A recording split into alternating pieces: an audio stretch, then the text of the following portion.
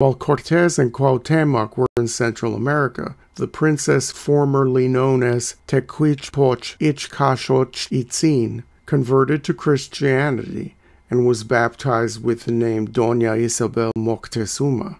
By all accounts, she embraced her new faith wholeheartedly and was educated by the Augustinians, but never learned to read or write. She was known to make large donations to church projects.